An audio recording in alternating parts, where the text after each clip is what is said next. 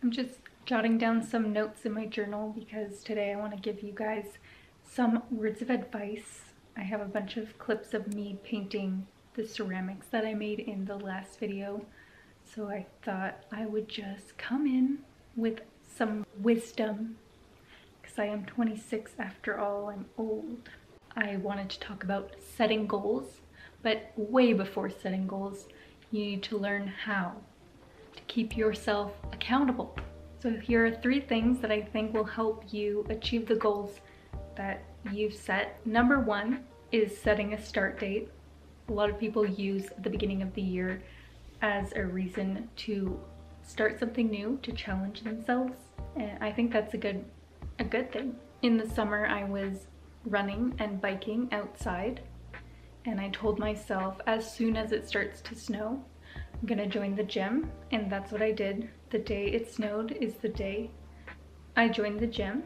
Unfortunately, the gyms are closed now, but my goal was to go three times a week, which I was keeping up with. Mm. And I'm kind of sad that it's closed, but as soon as they reopen, I'll be back taking the classes. Number two is setting attainable goals.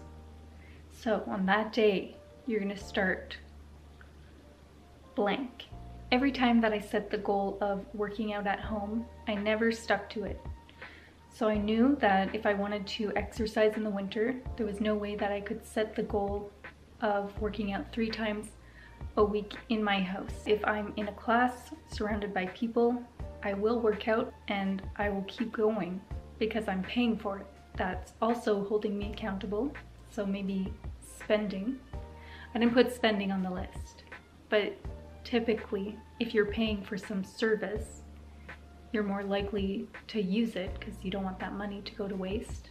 Also, don't overwhelm yourself with having too many things to do. If you want to spend 15 minutes writing in your journal, practicing a new language, working out, did I say reading? 15 minutes reading, that's too many things. Choose one.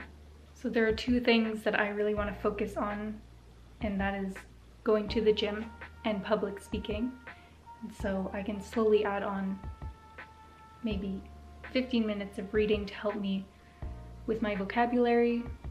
It really doesn't matter how long it takes to achieve your goals as long as you take the first step towards it.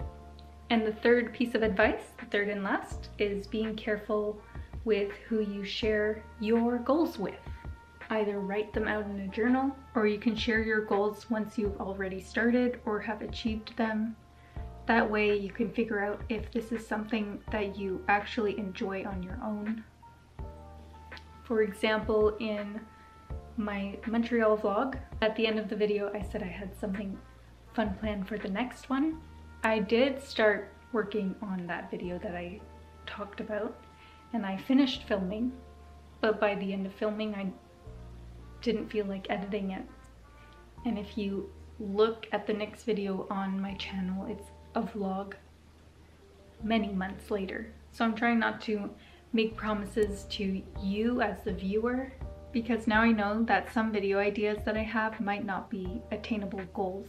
But if you do want people to keep you accountable, definitely share your goals because we're all trying to help each other. We want to see growth in one another, but that is a lot of pressure and that's why I would just keep them to myself. Before I end the video, I want to mention the artist Leah Goren, who inspired the style of the figures I painted.